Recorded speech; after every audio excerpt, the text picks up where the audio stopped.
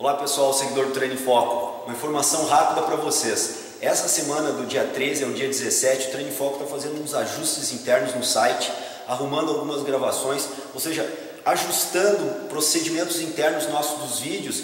Então nós não teremos novas postagens do dia 13 ao dia 17 em função desse ajuste interno que eu tenho certeza que vocês vão entender. A partir do dia 20, da próxima segunda-feira, dia 20, aí sim, recomeça tudo normal, as nossas séries todas normais, e aí com material já mais ajustado, mais ah, adequado, nós continuamos o trabalho.